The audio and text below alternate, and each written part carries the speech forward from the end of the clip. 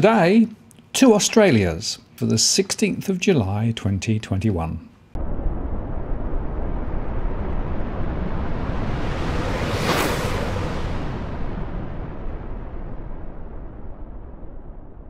Hello again, it's Martin North from Digital Finance Analytics. Welcome to this post covering finance and property news with a distinctively Australian flavour. In today's post, we look at the latest construction data, examine the two camps in the real estate market and beyond, who might get mortgage relief during the lockdowns as Victoria joins the party, and then we revisit the New Zealand situation with forecasts of home price falls in the light of the latest CPI. And finally, We'll look at the upcoming US debt ceiling and how that may play out, and into the broader questions about inflation. And this post is supported by Ribbon Property Consultants. The number of new houses that commenced construction in the March 2021 quarter was over 40% higher than the same time last year, According to the latest data from the ABS, building activity figures for the March quarter have revealed that the seasonally adjusted estimate for the total number of dwelling units commenced rose by 0.2% to 51,662 dwellings. This was driven by a 5.9% increase in the number of new detached housing commencements, which was a 20 year high actually of 35,869 and that followed a 27.1% rise in the December quarter. New house commencements surged by 40.2% in the March 21 quarter compared with the March 2020 quarter. Total dwelling units rose by 13.1% compared with the same time last year. But however, new private sector other residential buildings, which includes multi units, slumped by 11.3% in the March quarter and is 23.8% compared with the March 2020 quarter to 14,667 dwellings. The season adjusted value of total building work done rose 3% in the March 21 quarter to $30.4 billion, but this marked a 1.1% decline compared with the same period in 2020. The quarterly rise was driven by new residential building work done, which was up 4.8% in the March quarter to $16.2 billion in season adjusted terms, and that's marking a 2.6% rise from the March quarter. Alterations and additions to residential buildings surged both in the March 21 quarter, 11.4%, and compared to the same time last year at 18.5%, to a total of $2.9 billion. And work done on new houses rose 12.1% to $10.1 billion, while new other residential building fell 5.2% to $6.1 billion. But non residential building declined in the March quarter, down 1.4%, and from the same time last year was down 9.6% to $11.3 billion. Housing Industry Australia economist Angela Lillicrapp commented that the record volume of home building was expected and is supporting employment across the economy. But she observed that compared with the beginning of 2020, when there was a slowdown in the amount of work entering the construction pipeline, builders are now dealing with a different set of challenges, including labour and material shortages. These constraints are expected to ease going into 2022 as the number of new houses commenced construction slows, she said. The HIA's analysis of ABS data found that Western Australia saw the largest increase in detached commitments, up by 136% compared with the same quarter last year, followed by South Australia at 61.7%, the Northern Territory up 59.6%, Tasmania up 50.7%, the ACT up 50%, New South Wales up 37.5%, Queensland up 28.8%, and Victoria just 14.6% higher. And Ms. Lillicrapp also noted the stark divergence between the detached and multi unit markets, with multi unit commencements plunging to their lowest level in the March quarter since June 2012. Multi unit commencements have fallen by almost 50% since their last peak in March 2018 and are 53.4% lower than their record peak in March 2016, she said. The multi unit market is expected to remain constrained until there is greater certainty surrounding the return of overseas migration. And of course, the real truth here is that this is a direct reaction to massive government stimulus with home builder and other support programs at the state level. Now, of course, swallowing the elephant here is going to be the problem insofar that we now we don't have enough builders, we can't get the materials, and I've also heard a lot of stories of people finding that their building contract has been increased because of rising costs. This has a long way to play out and is not necessarily that positive. Elsewhere, Australia's property market might be creating two distinct camps within the real estate marketplace as home owners and renters are increasingly cast apart from each other. A recent study from CoreLogic showed how it is now cheaper to buy than to rent in many areas of Australia, particularly in regional areas, but in those same areas, vacancy rates are so low that it's nearly impossible to rent affordably. In some parts of regional Australia, rents have tripled within the last year. In Townsville, for example, it is cheaper to buy than rent in 94.6% of properties, whereas in suburban Sydney, that's only true for around 1% of homes. For those tied to a physical location because of work or lifestyle commitments, such as key workers, owning a home is now a distant dream. Thus, two Australias are created those already on the property market and those without hope of ever making it on. It's a two sided coin, explained Dr. Mardiasmo, chief economist at PRD in Brisbane. The calculations where it is cheaper to buy than to rent do work out from a mathematical perspective when you're breaking down the costs. A lot of these assume that you have the 20% deposit, that you're working with the current home loan rate, and also that you're taking a 25 or 30 year mortgage.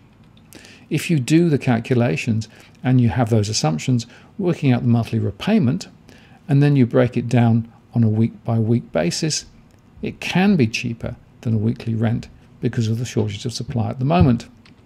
Dr. Mardiasmo has spoken to Australian Broker before about what she called the catch 22 of Australian government housing policy, which has seen incentives to get first home buyers into the property market via subsidies on deposits, but which could potentially leave them with dangerously overbalanced mortgages. However, it's not going to be the case for Australians who can't put the 20% together and have other concerns like bad credit or other reasons where they can't get a loan and they can't find a place to rent either, she said. So you have two sides of the story. Those who can buy instead of rent will be able to capitalise, but those who can't buy are going to struggle to find a place to rent and to afford that rent. That's the two Australias. It all comes down to your choice of location and your flexibility regarding work. If your work will allow you to move somewhere more affordable and you can find somewhere to rent, then you can live somewhere. It's theoretically a good idea to give up a Sydney apartment, for example, to be able to rent in a cheaper place in a regional area, but to actually make that happen is another thing. You've got to work, and you've got to be able to find a place where there is infrastructure that allows you to do that and maintain that lifestyle. At the moment, because of the shortage in regional areas, it's possible that the rent is almost equal to the amount that you would need to pay in Sydney, and you have to weigh that up. Yes, you might pay $50 less in a regional area, but will you have the same lifestyle that you're used to? Now, according to MPA, borrowers looking for mortgage relief or help with small business loans during the continuing COVID 19 lockdown will need to prove that their circumstances have changed in order to get a deferral. This year, banks will deal with customers' issues on a case by case basis, offering options such as moving to interest only payments for a time, restructuring the loan, or partial repayments, plus drawdown facilities according to the Australian. That differs from 2020 when lenders deferred mortgage repayments, no questions asked. Experts said that homeowners need to act fast to speak with their lender if they expect to struggle with their mortgage. Assistance will be available to all small businesses and home loan customers who've demonstrated they have been significantly impacted by current lockdowns or by a slower recovery from recent lockdowns, a spokesperson for the Australian Banking Association said. Given the various arrangements customers have with their bank, the best advice is call your bank about what relief might be available to you. Don't wait until you're in over your head. Australian banks stand ready to assist. Lockdown impacted customers of Commonwealth Bank don't need to provide evidence to secure a short term deferral. according to the Australian. However, they will be asked a series of questions to clarify their situation, and CBA's team will educate the customer on what the deferral will mean for them, a spokesperson said.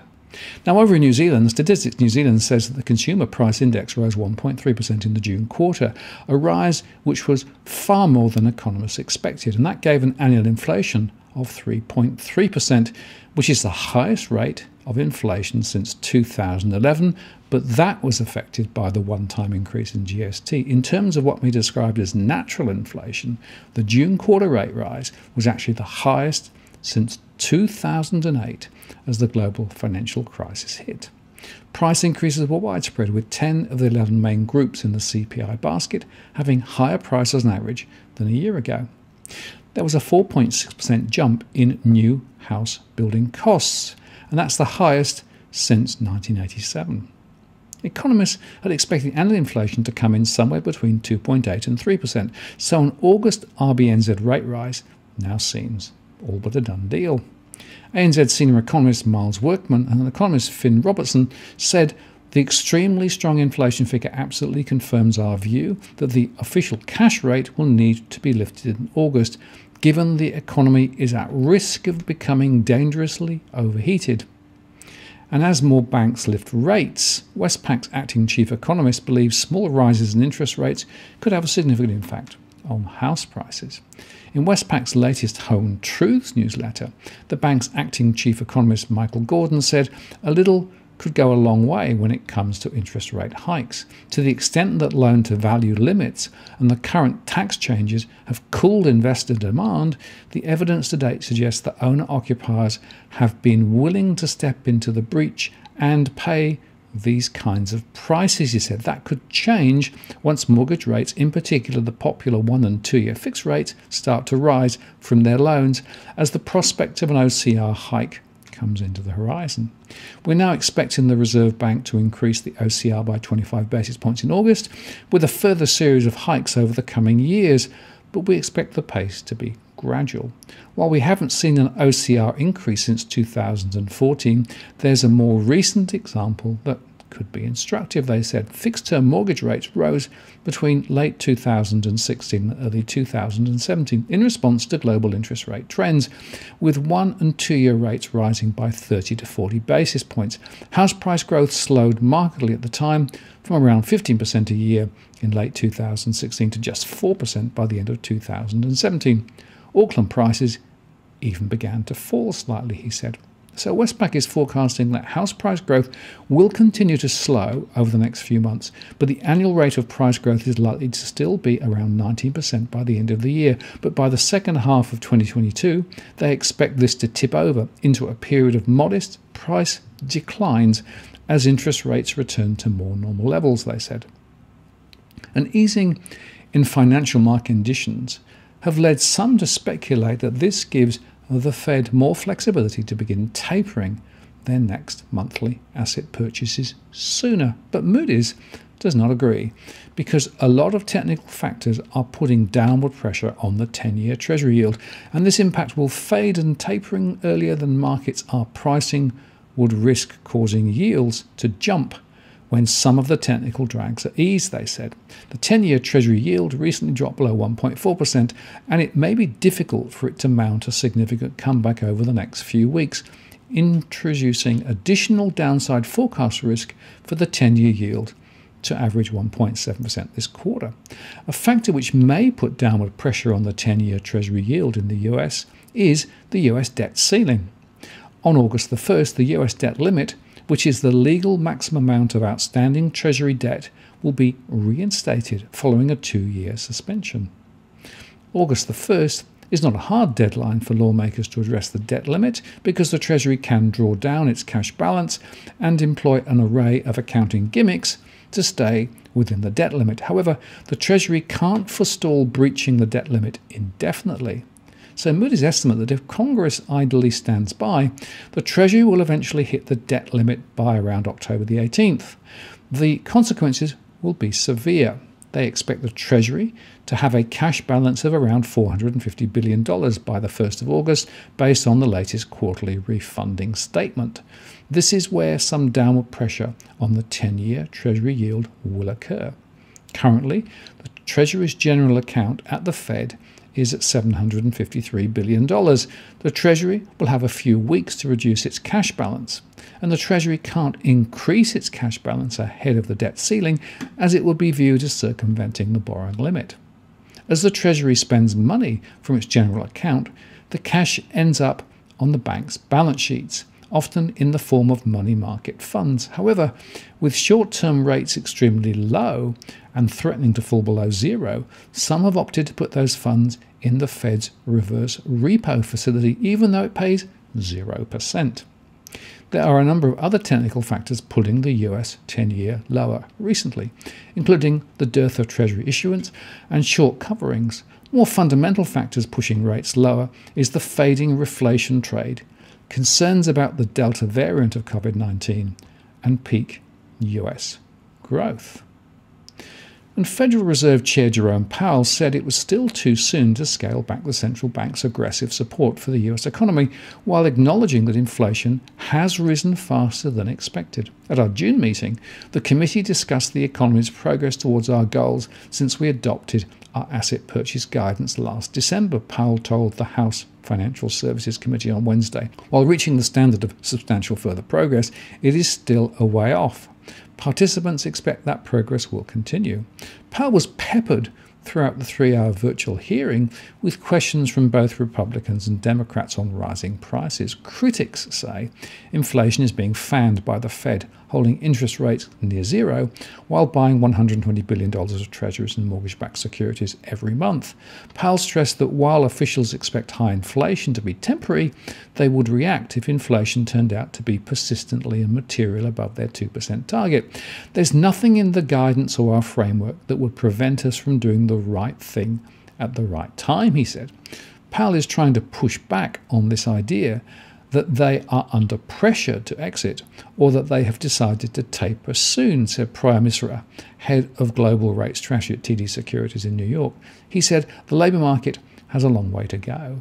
Republicans asked Powell to explain how monetary policy could ease supply bottlenecks blamed for rising prices, or if the Fed's bond buying was distorting financial markets. Powell said that he'll be watching to see if labour supply increases as enhanced unemployment benefits expire in coming months, adding that he was willing to look through the current shortages and effects on wages and prices if necessary.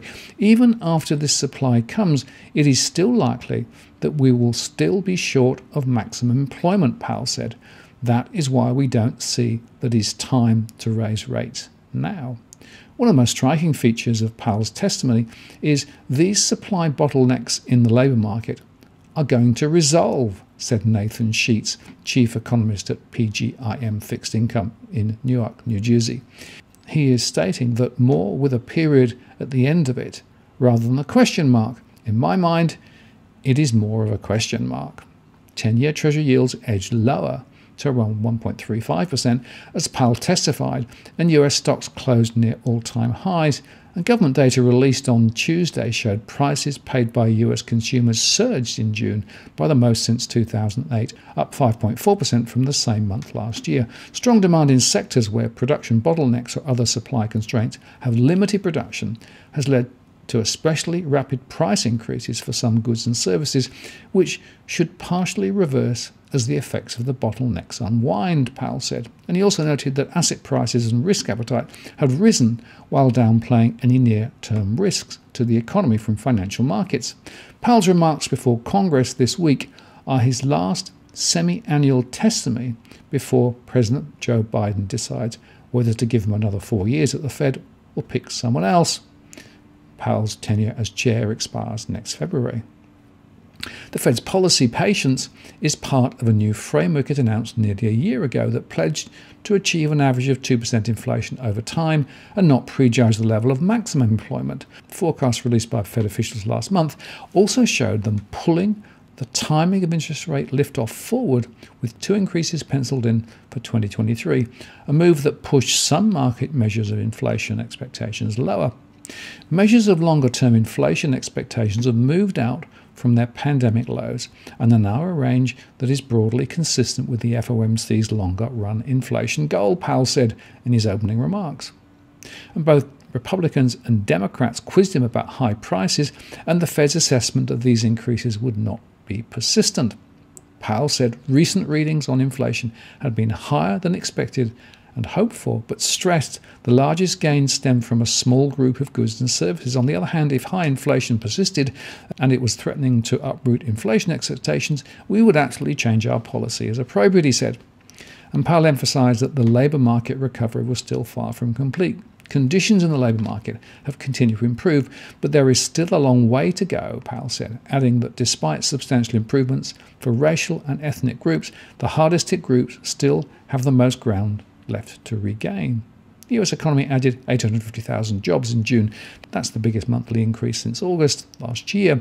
Still, broader measures of labour market slack indicate it is still short of the Fed's mandate of maximum employment. The jobless rate for black workers stood at 9.2%, compared to 6% in February 2020. So we continue to see this tussle between inflation as short term versus inflation as long term. But I remind you again the critical thing to look at is the amount of net stimulus in the economy. As I highlighted, reverse repos are sucking liquidity out. And Yellen is still talking about more fiscal stimulus. So I think there's a lot to play out yet. I certainly am not convinced that inflation is yet structural, but for some, the signs are getting quite strong. And I guess for some, the chance of a policy misstep ahead is actually rising. Now, if you're buying your home in Sydney's contentious market, you don't need to stand alone. This is the time you need to have Edwin Almeida from Ribbon Property Consultants standing alongside you. Buying a property is both challenging and adversarial. The vendor has a professional on their side. Emotions run high, price discovery and price transparency are hard to find, and then there's the wasted time and financial investments that you make. Edwin understands your needs, so why not engage a licensed professional to stand alongside you? With RPC, you know you have experience, knowledge, and master negotiators looking after your best interests. So shoot Ribbon an email at info at ribbonproperty.com.au. And if you use the promo code DFAWTW slash Martin, you can get a 10% discount offer. I'm Martin North from Digital Finance Analytics. Many thanks for watching, and I'll see you again next time.